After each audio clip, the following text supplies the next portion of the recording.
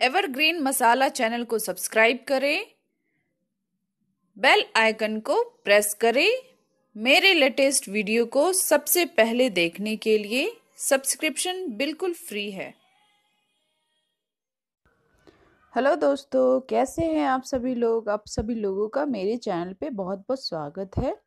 आज मैं फिर से आप लोगों के सामने एक नई वीडियो, एक बहुत ही यम्मी रेसिपी के साथ हाजिर हुई हूँ। जो कि आपको बहुत ही ज़्यादा पसंद आएगा। ये बहुत ही स्वादिष्ट है, यम्मी होता है खाने में, बहुत ही जल्दी बन जाता है, इंस्टेंटली बन जाता है। अगर आप चावल और दाल खा करके बिल्कुल परेशान हो चुके हैं और कुछ नया खाने का मन कर रहा है दोस्तों तो मेरी ये रेसिपी ज़रूर ट्राई करें। इस रेसिपी का नाम है वेज पुलाव रेसिपी। इसमें ज़्यादा इंग्रेडिएंट्स नहीं लगते हैं दोस्तों। आप अपनी पसंद के हिसाब से इसमें सब्ज़ियाँ जो है ऐड कर सकते हैं। और बिल्कुल इंस्टेंटली इसे बना सकते हैं। इसमें आपको चावल बनाने की कोई ज़रूरत नहीं है, आप इसको ऐसे भी खा सकते हैं। तो इसका इंग्रेडिएंट्स जो हमने लिया है, वो एक बार आप नोट डाउन कर लीजिए अच्छे से। वीडियो की ओर चलते हैं। एक बाउल में मैंने 250 ग्राम बासमती चावल लिया है।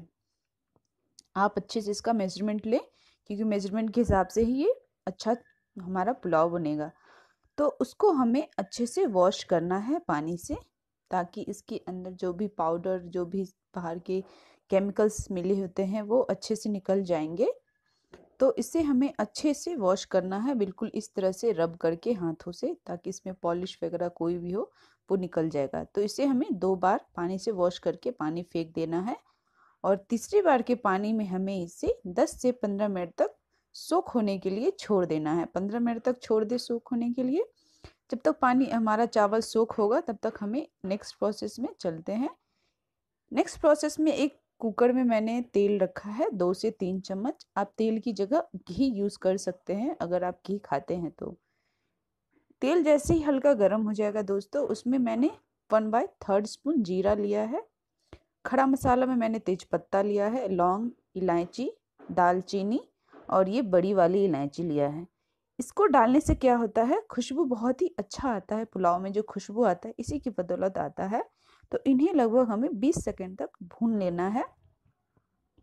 इसको भूनने के बाद इसमें हमें मसाले ऐड करने हैं। मसाले में मैंने one by third spoon red chili powder लिया है। कलर के लिए बिल्कुल थोड़ा सा हल्दी पाउडर डाल दें। अगर आप नहीं भी डालेंगे हल्दी पाउडर तो कोई बात नहीं है। ब्लैक पेपर यानी कि गोलकी का पाउडर डाल दे। इसके बाद जीरा powder one by third spoon coriander powder one by third spoon इसको डाल करके इसे लगभग थोड़ा सा दस सेकेंड तक हल्का सा भून ले।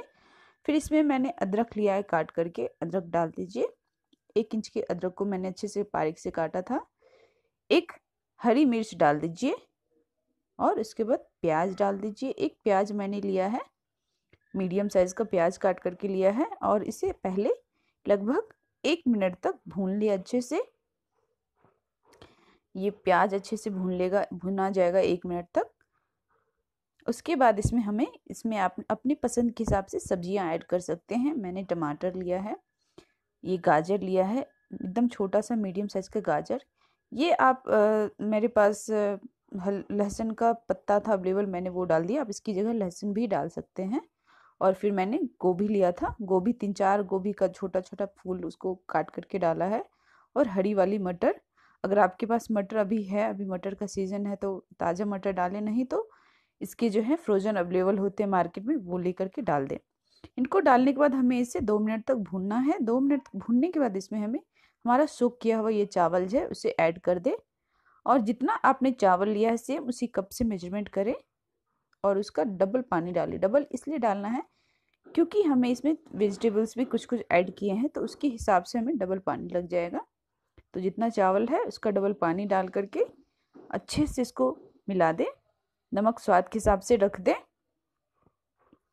नमक स्वाद के हिसाब से रखने के बाद अच्छे से मिला दें और फिर इसका कुकर का जो लीड होता है, ढक्कन होता है, उसे बंद कर दीजिए। ध्यान दें दोस्तों, इसको ज़्यादा सीटी नहीं लगाना है। एक सीटी लगने तक हमें वेट करना है। एक सीटी हमारा जैसे ही इसमें आ जाएगा, फिर हम गैस को ऑफ़ कर देंगे। तो ये देखिए, एक सीटी हमारा आ चुका है।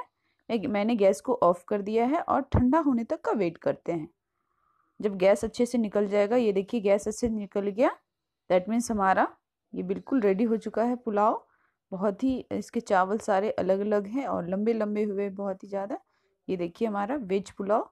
बनकर इंस्टेंटली बनकर रेडी हो चुका है। इसमें ज़्यादा परेशान होने की बिल्कुल भी ज़रूरत नहीं दोस्तों और ये बिल्कुल ऐसे भी आप खा सकते हैं। इसमें आपको दाल, चावल, सब्ज़ी खाने की ज़रूरत नहीं है। हमने ऑलरेडी इसमें बहुत सारी सब्ज़ियाँ ऐड की हुई हैं।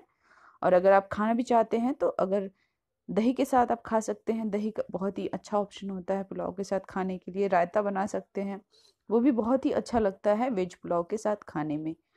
बहुत ही यम्मी और बहुत ही स्वादिष्ट रेसिपी है। मैंने ट्राई किया है दोस्तों। मैंने मेरी फ्रेंड्स लोग को खिलाया है, उन्हें भी बहुत पसंद आया है। तो उम्मीद करती हूँ कि आपको भी ये वेज पुलाव पसंद आएगा और आज ही आप अपने घर पे चाहें तो ट्राई कर सकते हैं। बहुत ही यम्मी है, बहुत ही डिलीशियस है, बहुत ही खाने में मज़ेदार है, बिल्कुल अलग हटके है। तो उम्मीद करती हूँ आपको मेरा ये वीडियो अच्छा लगा होगा दोस्तों और अगर अच्छा लगा होगा तो लाइक, शेयर और ज़्यादा से ज़्यादा कमेंट कीजिए, अपने अनुभव मेरे साथ शेयर कीजिए। और मेरे चैनल को अभी तक आपने सब्सक्राइब नहीं किया है दोस्तों तो सब्सक्राइब ज़रूर कर लीजिए ताकि आप और मैं इसी वीडियो के ज़रिए कनेक्टेड रहें। बेल का बटन दबा दीजिए ताकि आप, आपको नोटिफिकेशन सबसे पहले आ सके। और इसी उम्मीद के साथ कि आपको मेरा वीडियो अच्छा लगा हो। मिलती हूँ एक नई वीडियो के साथ। अपना ध्यान रखिए हेल्दी खाइए, सेहतमंद रहिए। Take care bye bye